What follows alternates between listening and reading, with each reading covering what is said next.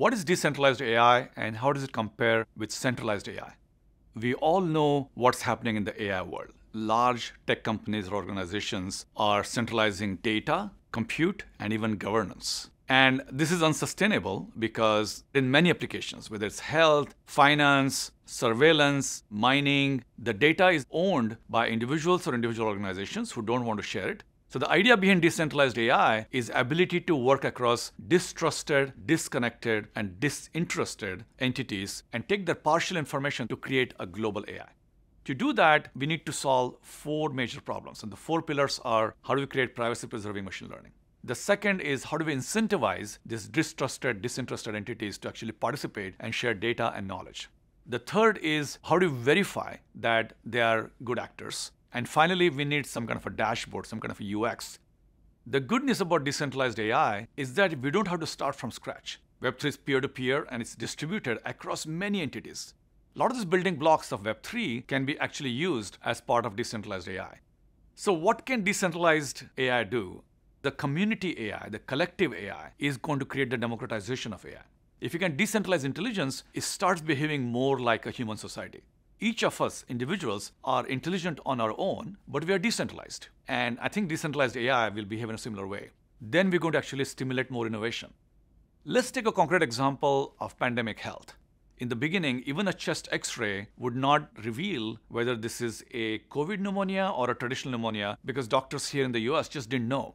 So let's imagine we run some kind of a future decentralized AI platform where all these clinics, all these hospitals in all these countries participate in this ecosystem. The Chinese and the Koreans and Italians who unfortunately suffer through this pandemic much earlier, if they had shared all the intelligence, we could have solved the pandemic problem of COVID pneumonia very quickly.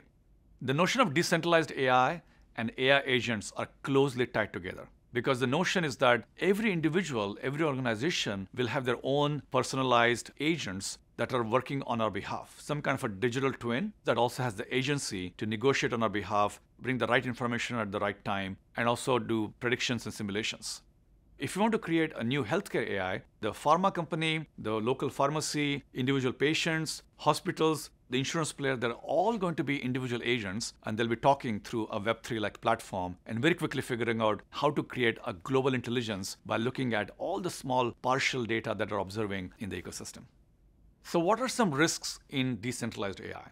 Any algorithmic orchestration also creates its own risks. And we have seen that play out in the Web3 world, where when the stack of Web3 technologies was getting weaker and weaker, the taller the stack is. And many exchanges crashed and many currencies crashed because they didn't think through all the possible ways individuals could be adversarial.